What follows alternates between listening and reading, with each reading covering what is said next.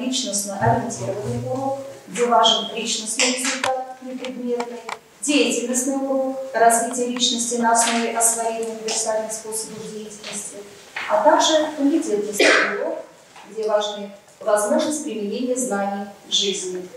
Основные составляющие урока – зачем учить, то есть мы ставим цель и задачи урока, чему учить, содержание урока и как учить методика. Э, произведение Астафьева «Конь с гривой» в тематическом планировании шестого класса предусматривается на изучение два часа. Это будет второй час. На первом уроке дети познакомились с биографией писателя, и дома они должны были прочитать сюжет рассказа. Целью урока будет определить понятие нравственности и показать ее важность. Задачи, которые мы будем выполнять в ходе урока, образовательные, учить навыкам смыслового чтения, анализа содержания художественных особенностей текста, самостоятельной оценки поступков героев, пониманию авторского замысла. Развивающая, формировать и обучающиеся навыки приобретения положительного жизненного опыта, и воспитательное, развивать в детях чувство честности, доброты, понятие долга, а также творческую активность. Формируемые универсальные учебные действия, познавательные, осмысленно читать текст, отыскивать, выделять необходимую информацию, осознанно строить речевое высказывание, устанавливать причинно-следственные связи, аргументировать собственное мнение. Регулятивные, уметь ставить цели задачи, планировать, контролировать учебную деятельность на уроке личностные, иметь ценностно-смысловую ориентацию, соотносить поступки и события с принятыми в обществе этическими принципами, моральными нормами. И коммуникативные, уметь слушать, слышать, принимать другую точку зрения, формулировать, аргументировать собственное мнение и работать в группе и индивидуально. Формы работы, которые планируем э, выделить на уроке, это фронтальная, групповая, парная и индивидуальная. Нравственные ценности, который будет нести урок, это понятие честности, доброты, понятие долга. Виды чтения, чтение вслух, выразительное чтение, комментированное чтение и чтение по. Методы обучения, планируемые на уроке, объяснительно-иллюстративный, репродуктивный, проблемный, частично поисковый и исследовательский. Использование новых технологий обучения планируется личностно-ориентированное обучение, развитие критического мышления, проблемное обучение, информационно-коммуникационные технологии, дифференцированное обучение и здоровье-сберегающие технологии. Así que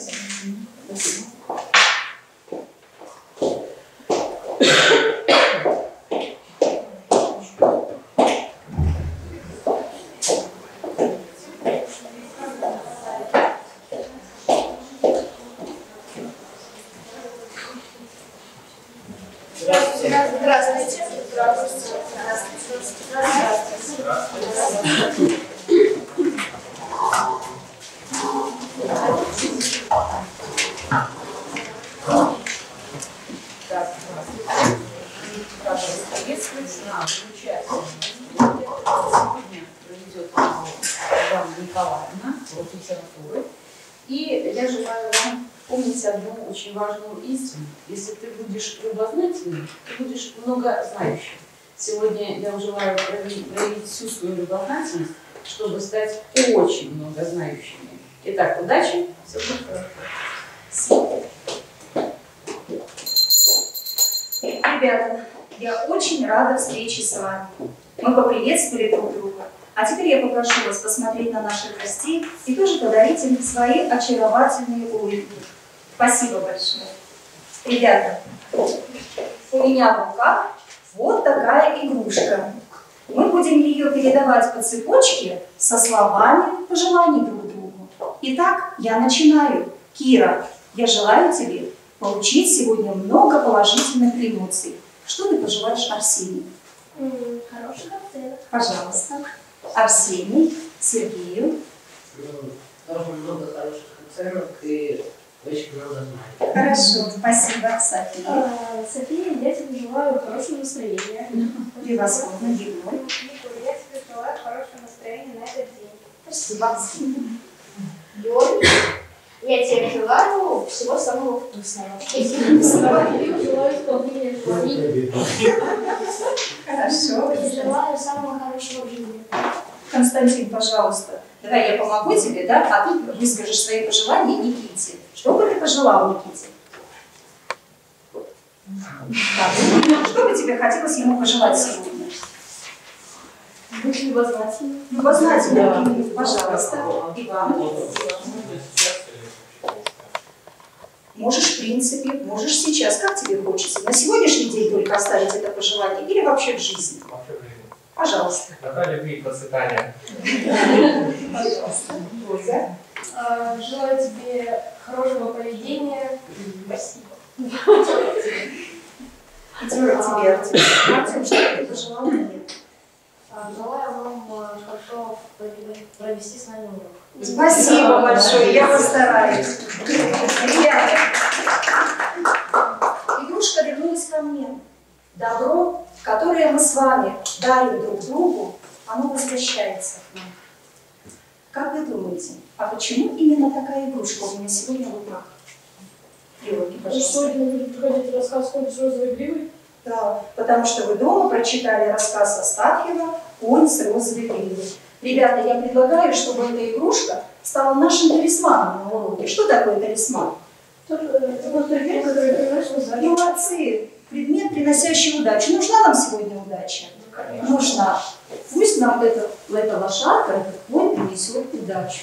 Хорошо, ребята. Итак, вы познакомились с рассказом Астафьева «Конь с розовой гривой». Что вы можете сказать о главном герое?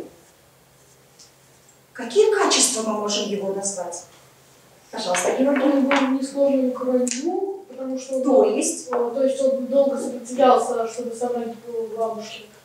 Э, Он был очень э, трудолюбивым, он э, хорошо относился к своей бабушке.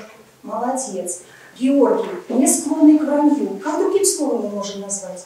Честный. честный был, трудолюбивый, да, хорошо, ребята, вот качества, которые назвал нам Георгий, составляют внутренний мир человека.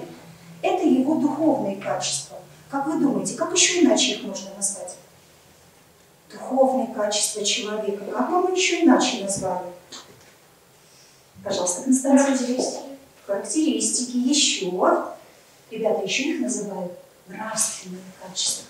Как вы думаете, о чем мы сегодня поговорим? Пожалуйста, Георгий. он нравственности. О нравственности. Молодцы. Откроем тетради, запишем дату, 14 марта.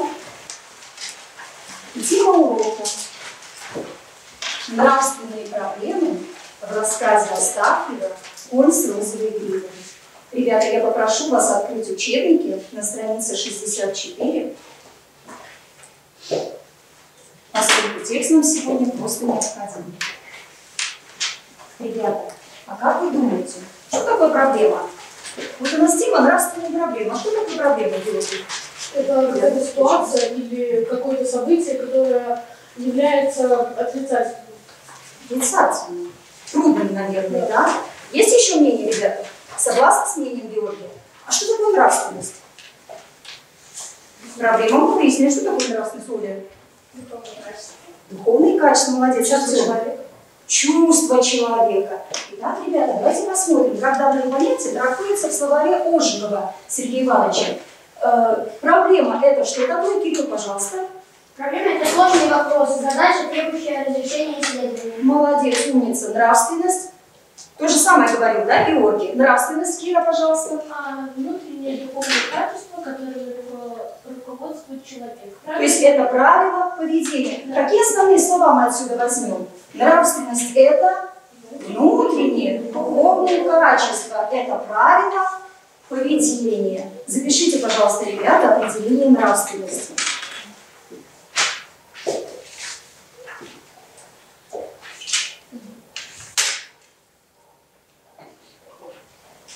Так, подумаем внимательно. Исходя из темы урока, как вы думаете, что же мы должны сегодня узнать? Чему научиться? Что понять на уроке? Георгий уже готов, кто еще подумает, что же мы должны сегодня изучить? Что понять? Что узнать? Так, ну, пожалуйста, Георгий. Я думаю, мы должны узнать, как лечить э, нравственные проблемы, возможно, от обычных проблем, и как лечить Так. ну, нравственные э, качества от э, обычных. А где мы это будем находить и сравнивать? Конечно. Артем, ты хотел что-то добавить? Да, Пожалуйста. Как вести себя в э, случаях рассказа. Как ведут себя герои, да? И как нам, наверное, вести себя потом А, в жизни. Хорошо, ребята. Итак, мы сегодня с вами постараемся определить понятие нравственности. Мы уже с вами записали определение и покажем ее важность. Например, поступков героев. Вы правильно все сказали? Мы будем оценивать поступки героев, аргументировать свое мнение и учиться выделять нравственные проблемы в рассказе. Эпиграфом к нашему уроку я предлагаю взять слова из рассказа «Конь с розовой гривой». Итак, мне поможет Ира, пожалуйста. Прочитаем слова. Сколько лет прошло, сколько событий минуло, а я все не могу забыть бабушкины пряника, того дивного коня с розовой гривой.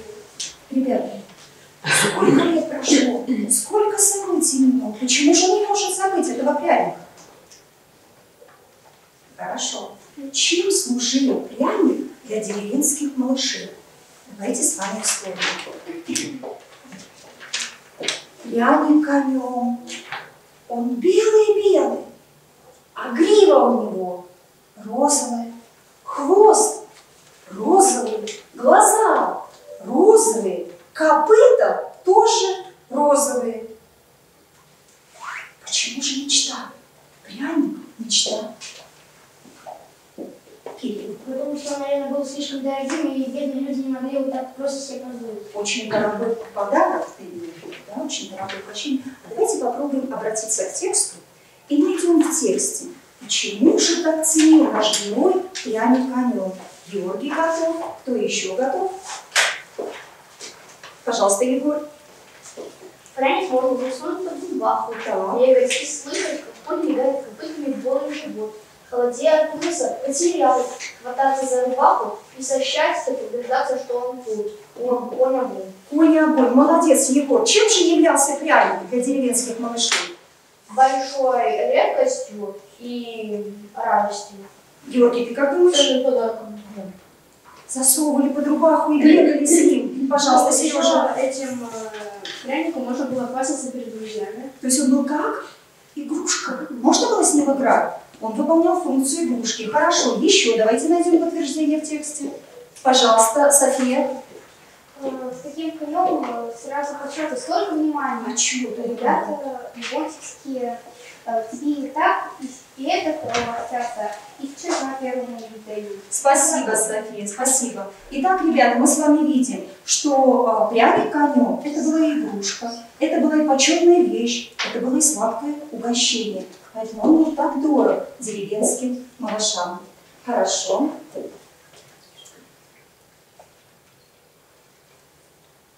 Итак, чтобы получить пряник конем, что должен был сделать главный герой рассказа? Пожалуйста, Оля. Как-то его заработать, собирать ягод, А что значит как-то его заработать? Конкретно, что он должен был сделать? собирать ягод. Собрать ягоды. Хорошо. Итак, вместе с левонтьевскими ребятишками, давайте найдем этот эпизод в тексте, наш герой отправляется собирать землянику. Как он хотел заработать этот пряник? Вот скажите, ребята, какой подарок вам будет получить приятный? Тот, который вы получите просто так, это подарок, или тот, который вы получите, сделав что-то полезное, что-то приятное? Никита, пожалуйста. Мне кажется, что предприятие получить за. В качестве вознаграждения. Молодец. Хорошо, Артем. Работали тут, например, где-то приятно. Хорошо. А как думал наш герой? Витя, как он считал? Давайте найдем этот эпизод в тексте. Как он считал? Как он хотел заработать? Пожалуйста, Георгий. Вот с ребятишками я не помните, я отправился, я позанимался, что-то припомнил, и заработал пряник. Спасибо, достаточно. Итак, своим трудом заработать пряник. То есть как он хотел его получить? А, Честно. Честным трудом. Ребята, первая нравственная проблема у нас честность. Согласны? Хорошо. Он хотел своим трудом заработать. То есть какое чувство у него было? Он был ответственным человеком. Можем мы так сказать о нем? Да. Да. Понятие долга, конечно. Хорошо. Итак, а всегда ли наш герой был таким? Всегда ли он был честным? Всегда ли он был ответственным? Нет. Не всегда. Я предлагаю вам вспомнить сюжет рассказа. Для этого мы поработаем в группах. Итак, первый ряд первая группа, второй ряд вторая группа, третий ряд третья группа. К вам придут задания в форме таких земляничек. Вы внимательно их читаете. Я попрошу первую парту посмотреть на вторую парту, вернуться к ней. Это ваша группа. Вторая парта с первой. Первая с. Итак, ребята, внимательно читаем задание. Назовите качества героев, характеризующие их по данным репликам. Вы внимательно читаете реплики героев, определяете, кто сказал, и ка- в каком качестве героя говорит эта реплика. А помогут вам слова для справок. Одна минута на обсуждение.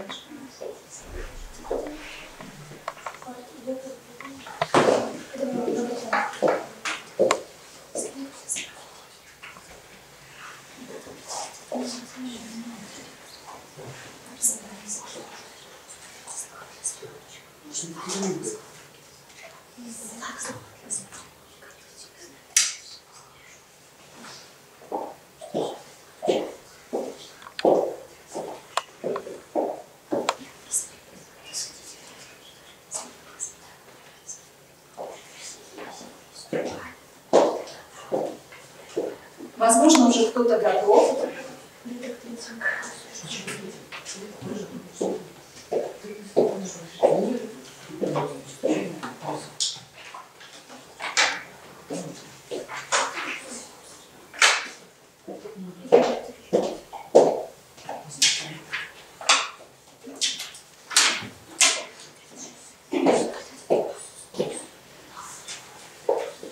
Ребята, заканчиваем обсуждение.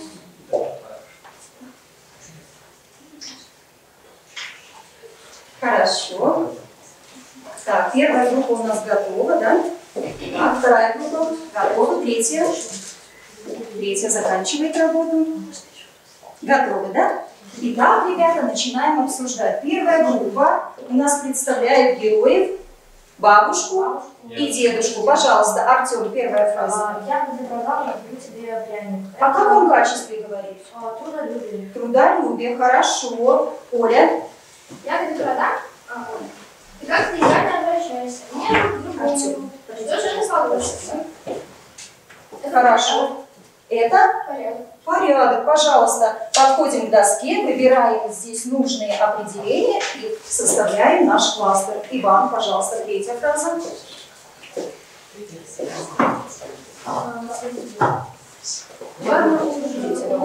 Молодец. Конечно, присаживайся. Пожалуйста. Пожалуйста, Иван. А, Ладно, лучше умойся, да садись. Качество. Любовь. Любовь, пожалуйста. Так, Никита. Попроси прощения. Ступай и ступай. Доброта. Хорошо, пожалуйста, Никита. Находим качество доброта. Так, вторая группа. Георгий озвучит. Легонтьевские ребятишки. Первая фраза. Бросали друг друга посудой, э, барахтались, принимались драться, плакали и дразнились. О каком качестве это говорит? Злость. Злость, да, ты считаешь? Хорошо. Идем. Ищем качество, если оно есть. Пожалуйста, Костя. Нарочно съела. Ха-ха. Нам то и ништяк, а тебе-то. Хо-хо. Это кто говорит? Легонтьевские ребятишки, Санька, да, там, над героем шутит. Как ты считаешь? Невоспитанность. Невоспитанно считаешь? Хорошо, пожалуйста. Стрижали рыбину. Подшибли стрижат. Заорал, подавая нам жару. Жестокость. Жестокость, молодец. Растерзали рыбину, попили стрижа, конечно. Хорошо, Егор. Ты что, я стрёмно должна и сверху ягод. Это хитрость. Хитрость, конечно. Пожалуйста, Егор. Молодцы, сами разобрались. Так, Арсений, ты представляешь группу. Левонтий и Василий. Левонтий и Василий. Пожалуйста, первая фраза. Я принесла. Тут же кидала, проще сузбы. Так, Но в кем козырь. как ты считаешь? Подумай, хорошо. Ребята, вы выбрали качество злость? Ну хорошо, пусть будет злость. Идем к доске. Вторая фраза, Кира. Может быть, вы потом передумаете немножечко. Только за стекленными окнами не забор, ни ворота, ни снесли, ни наличники, ни ставни. О каком качестве это будет говорить, Кира? бесхозяйственность, молодец, пожалуйста. Так, продолжаем, Сережа.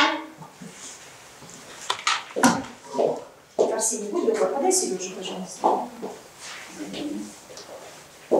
Так, Э, Зато как шубет нас, бегишь и, и, не, и не запнешь. а вот о каком это качестве вы? Вот это будет злость. Пожалуйста, Сережа. Ну давай мы дослушаем последнюю фразу, София. Она снова занимала денег, муки, картошек. Чего придется? Это безответственно.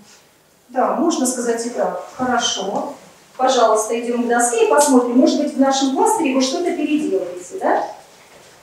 Так, ребята, а у меня есть тоже клубничка. И она тоже с заданием. Вы мне поможете справиться с ней? О каком герое идет речь и как эта реплика характеризует героя? Чтобы трудом своим заработать пряник. Пожалуйста. Э, Ответственность. Так. Это И еще каким трудом он хотел заработать, мы уже говорили. Честность, честность. Честность, пожалуйста, иди к доске. Никита. Ищем честность. Хорошо. Я брал старательно и скоро покрыл дно туиска. О каком качестве речь идет? Артем? Еще один Оля. Трудолюбие, пожалуйста, Оля. И сразу покаялся. Понял, что попал в. Раскаяние. Ну, почти близко. Смотри, еще тогда другая фраза. И зачем я так сделал? Зачем послушался? Раскаяние. Вот это. Ведущая совесть или... Осознавание вины. Умница, осознание вины. Так, Георгий, пожалуйста, и Оля. Да. К доске. Так, я у нас осталось. Ребята, молодцы, мне очень помогли составить вот такой кластер. Давайте посмотрим теперь внимательно на доску. Сейчас я немножечко его подготовлю. Итак, ребята, что вы можете сказать о главных героях? Какие качества Вите прививала бабушка и дедушка? Не все это видно? Сережа, пожалуйста. А, трудолю- Трудолюбие, порядок, любовь и Доброту. Эти качества мы, некоторые из них мы уже видим и увидим, да? Трудолюбие есть, честность есть, хорошо. А что мы можем сказать о Левонте и левонтьевских ребятишках? Только Георгий видит. Внимательно смотрим. София, пожалуйста. Что есть. Мы видим качество у Левонтия Васению, злость, безответственность, бесхозяйственность, беспечность. И левонтьевских ребятишек проявляется эта злость, жестокость. Ребята, как вы думаете, о чем это говорит?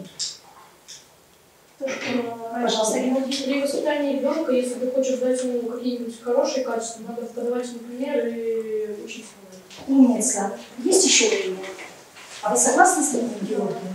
Пожалуйста, То, Артем. что дети повторяют за родителями. Они учатся у родителей этим качествам. Ребята, как вы думаете, какая еще здесь нравственная проблема будет затронута? Вы сейчас ее озвучили. Воспитание, молодец, хорошо.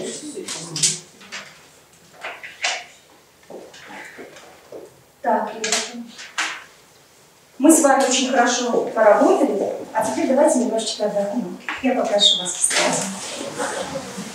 Из запах мы выйдем дружно, но шуметь совсем не нужно. Хлопнем пару раз в ладоши и подумаем немножко. А теперь представим, детки, будто руки наши ветки, покачаем ими дружно. Наш урок продолжить нужно.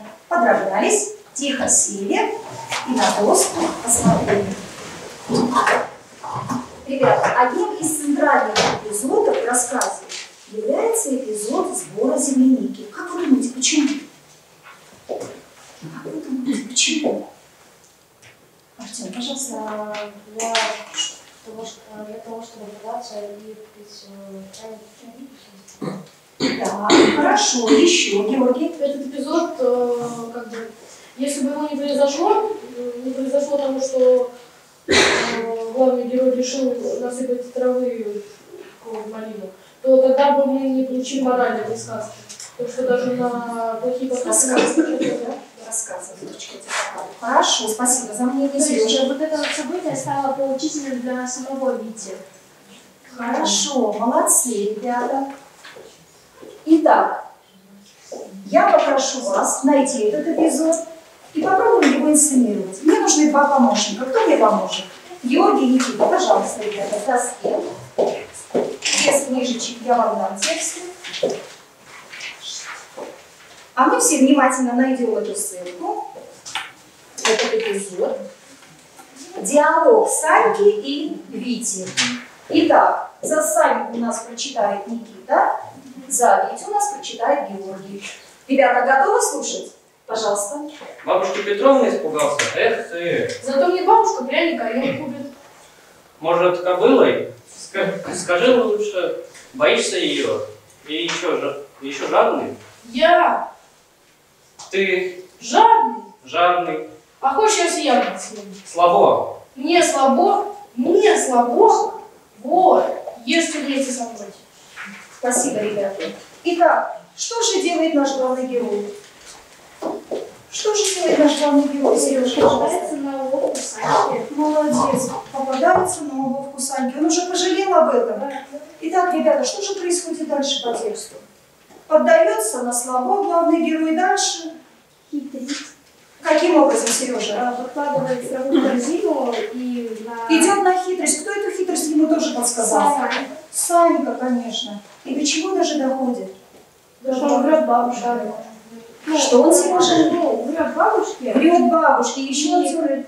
А, ничего. Каким образом? Он уходит. Куда уходит? Так, тетя уходит, а еще? Ну, до речки. Ну, и крадет еще... Вот. Пожалуйста, Сережа. а, Крадет пряники для Сани. Крадет калачи. Итак, мы видим с вами, что за обманом следует что? Хитрость, да? Обман, хитрость и даже воровство. И всему этому его учит Санька. Ребята, а как вы думаете, Санька, это настоящий друг? Нет. Почему? Потому что он подставляет своего друга. Какую еще здесь проблему нравственную мы с вами видим? Возможно, ложь. Возможно, ложь. Артем А, то, что человек меняется в жизни. меняется в жизни. его Предательство. Предательство, друзья. Молодец. Дружба, конечно, ребята. Это настоящая дружба у Саньки и у Вити? Нет. Нет, конечно. Потому что друзья так не поступают, конечно. Хорошо, молодцы. За теми качествами, которые мы с вами перечислили, да, хитрость, обман и даже воровство, следует осознание вины. Герой наш осознает свою вину. Давайте найдем этот эпизод в тексте. Так, кто поможет нам? Георгий, пожалуйста. Ну, как хорошо было жить. э, Ходи бедный, ни о чем не думай. А теперь может э, лодка и бабушку утонет. Ему жаль становится бабушку. Молодец, хорошо. Еще эпизод, подтверждающий, что он осознал свою вину. Артем, что бабушку надо, калачи, Оля, пожалуйста. Бабушку надо за калачу, потому что должно будет. Когда я Завтра я должен прочесть на. Я учусь на палате. Ребята, он осознает свою вину. И к какому решению он приходит? Что он завтра все расскажет. Успевает он это сделать? Нет. Нет, не успевает. Бабушка спит. Совершенно верно. Он не успевает рассказать бабушке. И наступает новый день. Куда отправляется? Витя вместе с левантьевскими ребятишками. А точнее, на рыбалку. Да? Давайте найдем описание природы в тексте. Какой показана природа? У меня подсказки есть на экране. Пожалуйста, Артем. Природа какой показана? Зачитай. День был ясный, летний, сверху пекло, возле паскотины клонились к земле, э, рядом. э, Пушкин, слезы. Какой же нам предстоит природа? Какой мы видим природу? Ясный, летний, солнечный день. Какая природа? Хорошая. Яркая. Яркая, летняя, теплая. Ну, молодцы, хорошо. А теперь ну, давайте найдем с вами эпизод. Что же чувствует наш герой? Что он чувствует? Он переживает или он радуется такой летней, яркой, солнечной погоде? Пожалуйста, Что Кирилл. это, что он так сделал? Зачем послушался их? Так, прочитай, пожалуйста, Кирилл. Что только будет? И зачем я так сделал? Зачем я послушался его песни? Ребята, посмотрите внимательно на доску. Красота, да? Солнечный, яркий летний день. И вдруг терзание, мучение в душе. Противопоставление понятий. А как такой прием в литературе называется? Построенный на противопоставлении понятий. Пожалуйста. Антитеза. Вы уже встречались с этим понятием, когда? Упрек, чудесный доктор. Конечно. Ребята, это антитеза. Давайте вспомним. Пожалуйста, Кирилл, прочитай нам, что такое противопоставленные Противопоставление. понятий, положений, образов, состояний. Хорошо, молодцы. Ребята, а вам все э, слова были знакомы в тексте? У нас под сноской, да? Даны специальные слова, которые употребляются только в этой сибирской деревне, в этой местности. Давайте попробуем найти общеупотребительные слова. Итак, увал – это что такое? Ольга, пожалуйста. Это холм, молодец. Следующий, Георгий. Э, корзина. Корзина, хорошо. Следующее. София, пожалуйста. Заполож... Заполошная. Заполошная, суетливая. Суетливая. Следующее понятие, Артем. Подолгая.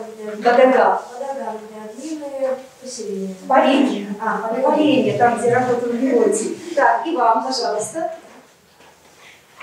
Следующее попробуй прочитать. У вас из учебника. Шанга. Шанга. Так, что это такое?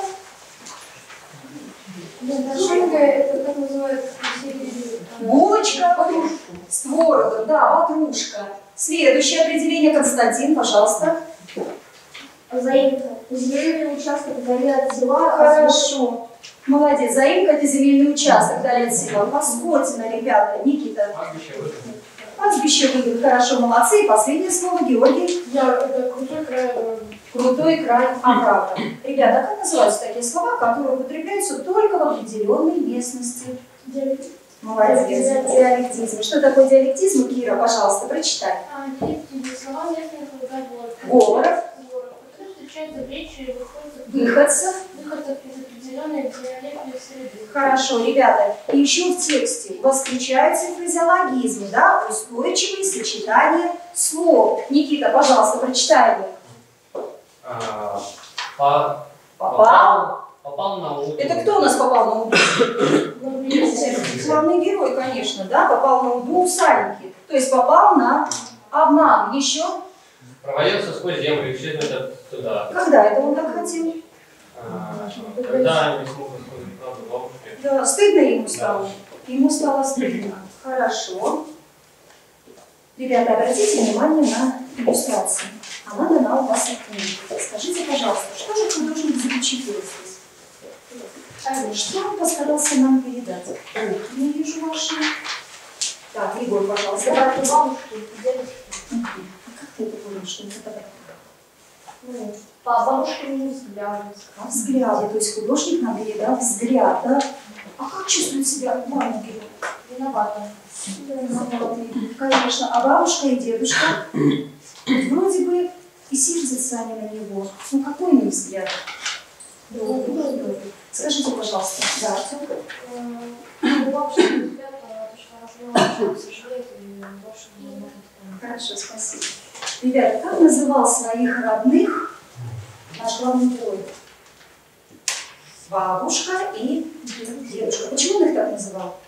Слушай, их любил. Любил. А любили его бабушка и дедушка?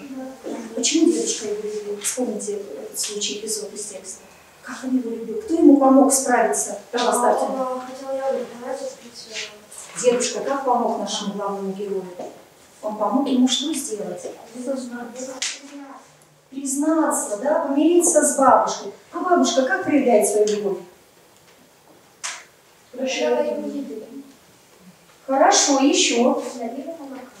А самое главное? Пряник. Она все-таки привезла ему пряник коню. Почему же она ему привезла пряник коню?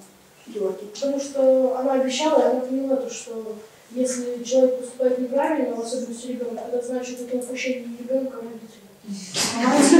Скажите, пожалуйста, бабушка что подарила внуку? Не только ведь пряник, наверное. Свою любовь, доброту подарила она ему? Да. Так чем же бабушка научила внука? Она сказала, то, что если человек совершает неправильный поступок, это значит надо э, не довольствоваться не человеком, а его поступком. Хорошо, ребята, давайте вернемся в игры. Сколько лет с тех пор прошло? Уж давно нет на свете бабушки, нет и дедушки. А я все не могу забыть того коня с розовым почему же он не может забыть этого дня? Артем, Потому что это был подарок очень нечестный. через что он прошел, получив этот подарок? София? Он прошел через обман, рас- раскаяние и прощение. И, ребята, какую нравственную проблему здесь еще видим с вами? Самое главное, наверное, да? Доброта. Доброта. Ребята, давайте подведем итог тому, что вы сегодня узнали на уроке. Итак, пожалуйста, Кира, сегодня я узнала, А, Какие бывают э, качества человека? нравственные качества, хорошо, София, я поняла. Я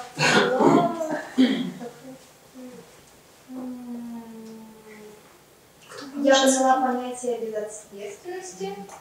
Так. Хорошо, молодец, Кирилл. Я попробую более не повторять эти ошибки любить. Умница, молодец, Георгий. Такое же мнение. Есть другое еще мнение, ребята? Согласны все, да? Хорошо, молодцы. Домашним заданием я попрошу вас выбрать одно из двух, написать отзыв о рассказе «Конь с розовой гривой», то есть ваше впечатление о том, что вы сегодня услышали, о том, что вы прочитали, как вы это поняли для себя. Или нарисовать рисунок одного из эпизодов рассказа, который вам больше всего понравился. Ребята, конечно, от ошибок никто не застрахован. Ошибаются и взрослые, ошибаются и дети. Но самое главное, наверное, что? Уметь эту ошибку признавать. И еще исправить ее, конечно. Я желаю, чтобы в вашей жизни было как можно больше добрых, надежных друзей, которые помогут вам избежать, исправить, если вдруг будут ошибки. Я желаю вам всем идти дорогой добра.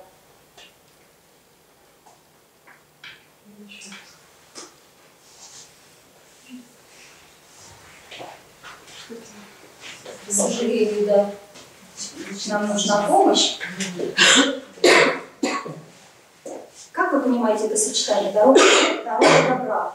Что это значит, Георгий? Это значит придерживаться всю жизнь э, всю жизнь мнения о том, что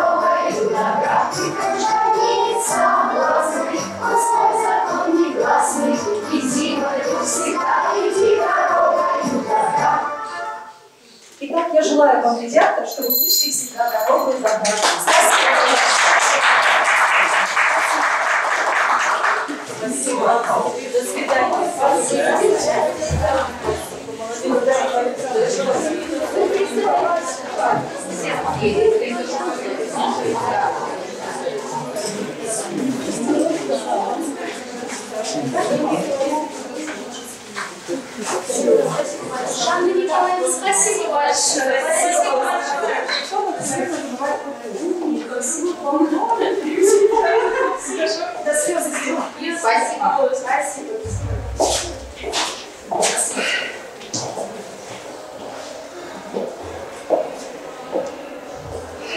Уважаемые коллеги, ну, я считаю, что основную цель, которую мы наметили, это понять все-таки вот нравственные проблемы, которые заложены в рассказе, уметь увидеть эти проблемы, уметь их проанализировать и затем посмотреть, вот, как они в жизни, да, эти проблемы потом проявляются. Я считаю, что вот именно цель, которая у нас была показать проблемы, показать ее важность, мы этой цели достигли.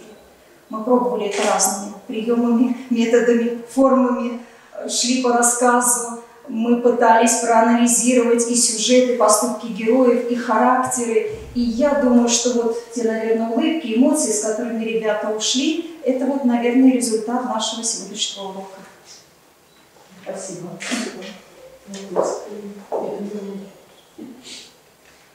Нет, у меня, конечно, есть, зачитать.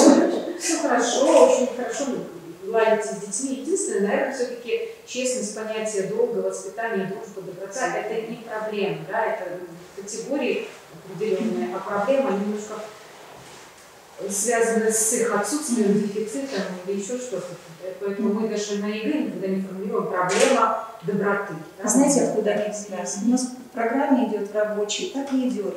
Значит, нравственные проблемы, двоеточие, понятие честности, доброты, понятие долга. Да, вот в программе, в программе Чего да, да, да, да, да, совершенно верно. Да, да. А вы вначале сказали, что вы учитель литературы. Вы только Да, литературу да, да. Сейчас я веду только литературу. Вот. У нас так получилось, да.